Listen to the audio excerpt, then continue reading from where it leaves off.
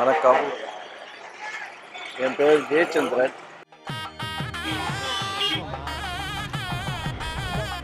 நாங்கள் மதுரையில் அஞ்சு தலைமுறையாக இதே தொழில் சந்தன தொழில் பண்ணிக்கிட்டு இருக்கோம். பூஜை பொருள் வியாபாரம் பார்த்துக்கிட்டு இருக்கோம். நாங்கள் இது எங்கள் தாத்தா காலத்து கடைங்க.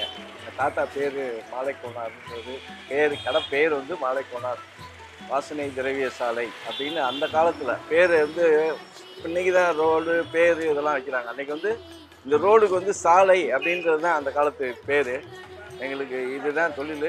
இது ஒரு மங்களகரமான வியாபாரம். தொழில் வந்து தெய்வ சம்பந்தமாக அதனால் தொழிலை எங்களுக்கு அமைச்சு அமைஞ்சிக்கிட்டு. எங்களுக்கு தெய்வத்துக்கும் எங்களுக்கும் ஒரு தொடர்பு இருக்கிற மாதிரி ஒரு பிஸ்னஸை ஆண்டவன் பார்த்து எங்களுக்கு படைச்சிருக்காரு. இது நல்ல பிஸ்னஸ் பண்ணிட்டு இருக்கிறதுக்கு காரணம் வந்து நாங்கள் கொடுக்கக்கூடிய பொருள் வந்து தரமாக இருக்கிறதுனால தான் இன்றைக்கி வந்து அதை தரமாக மக்கள் வந்து அந்த தரத்தை ஏற்று எவ்வளோனாலும் சரி இங்கே போனால் நமக்கு ஒரு சென்டிமெண்ட்டாகவும் இருக்கும். அதே நேரத்தில் வந்து நமக்கு ஒரு நல்ல பொருள் நம்ம கொடுத்த காசுக்கு நல்ல பொருள் நமக்கு கிடச்சிச்சு அப்படின்றத வந்து மன திருப்தி வந்து மன வந்து கூட வந்திருக்கக்கூடிய கஸ்டமருக்கு கிடைக்குது.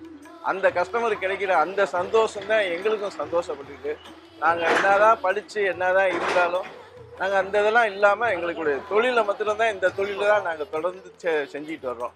இது இதோட நாங்கள் அஞ்சு தலைமுறையாக செய்கிறதோட பாக்கியம் வந்து எங்களுக்கு மீனாட்சிக்கு கொடுத்த புண்ணியத்தினால நாங்கள் மீனாட்சி வாசல்லே நின்று இந்த பிஸ்னஸ் நாங்கள் பண்ணிக்கிட்டு இருக்கோம். கிராமங்களில் இப்போ ஃபங்க்ஷன் நடக்குது ஒரு ந- நிகழ்ச்சி நடக்குது அப்படின்னு சொல்லி சொன்னால் அங்கே கரகாட்டம் இப்போ பாட்டு கச்சேரி இந்த மாதிரிலாம் நடக்கும். அந்த கச்சேரிகள் நடக்கும்போது பார்த்தீங்கன்னு சொன்னால் எங்களுடைய கடை பேரை சொல்லியே அந்த பாட்டுகள்லாம் பாடுவாங்க. அந்த பாட்டு பாடும்போது கடை பேர் வரும். அந்த கடை பேர் வந்துக்கிட்டே இருக்கும்போதே பருத்தி வீரன் படத்தில் டைட்டில் சாங்லே வந்தனமா வந்தனம் வரும்பொழுதே வாங்கி வந்தேன் மாலை போனார் சந்தனம்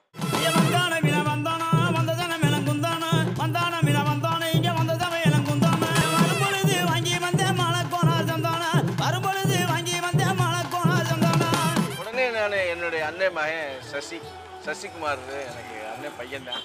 அவர்கிட்ட கேட்டேன் என்னையும் ஒரு திரையில் ஒரே ஒரு சீன் காமிங்க அப்படின்னு சொல்லி சொன்னேன். அதனால சுப்பிரமணியபுரம் படத்தில் பார்த்தீங்கன்னு சொன்னால் ஒரு முக்கியமான கதாபாத்திரம். என்னையை சுற்றியே கதை ஓடுற மாதிரியே அதை அமைச்சிருப்பார். அது அதுக்கப்புறம் படம் வந்ததுக்கப்புறம் தான் தெரிஞ்சுது. அட என்னையவே வச்சு ஒரு கடையே உருவாக்கியிருக்காரு அப்படின்னு சொல்லி சந்தோஷப்பட்டு அந்த படத்தில் நான் நடிச்சிருந்தேன். அந்த வாய்ப்பையும் வந்து எனக்கு கிடச்சிது. இந்த படத்தில் மூலியமாக இந்த கடை பேரும் அதில் பேரும் வரும். அந்த மாதிரி பாக்கியம்லாம் எனக்கு இந்த இதில் கிடச்சிச்சு. இதில் எங்களுக்கு ஒரு பெருமை என்னன்னா அந்த சீட்டில் எழுதி வரும்போது கொண்டாந்து காமிப்பாங்க. சந்தனம்னு போட்டு பக்கத்தில் பிராக்கெட்டில் மழை கொண்டார் அப்படின்னு போட்டிருக்கோம்.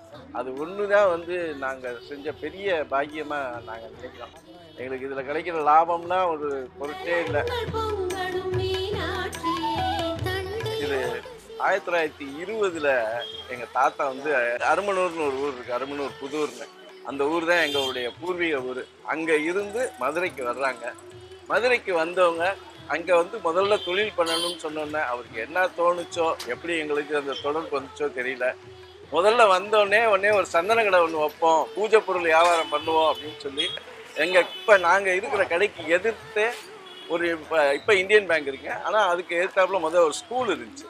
அந்த ஸ்கூலில் வாசலில் ஒரு சின்னதாக ஒரு கடை வச்சு அப்போ கையில் வச்சு மிஷின் வச்சு அரைச்சி கட்டையை வச்சு அரைச்சி அப்படி தான் நாங்கள் தயார் பண்ணி வியாபாரம் பண்ணிக்கிட்டு இருக்கோம்.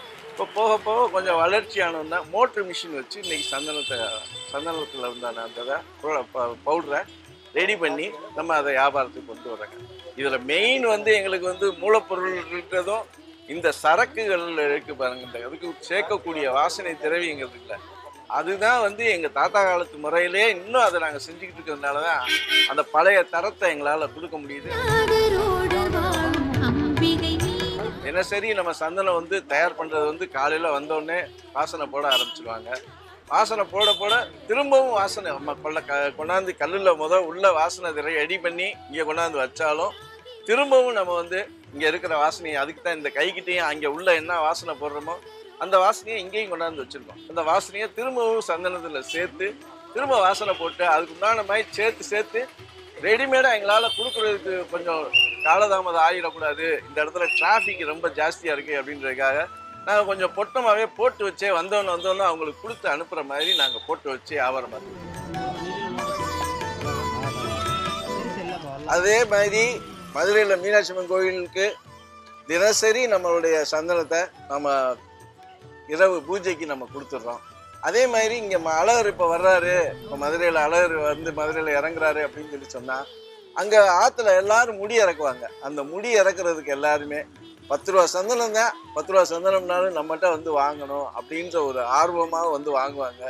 அதே மாதிரி அழகருக்கு வந்து தண்ணி பீச்சுவாங்க. இந்த தண்ணி பீச்சுறதுல பார்த்தீங்கன்னு சொன்னால் இந்த சந்தனத்தையும் கலந்து அந்த வாசனை திரவிய பொடின்னு ஒன்று இருக்குது அது ரெண்டையுமே கலந்து தான் வந்து அந்த அழகருக்கு ஒரு தண்ணி பீச்சு விழாவே நடக்கும்.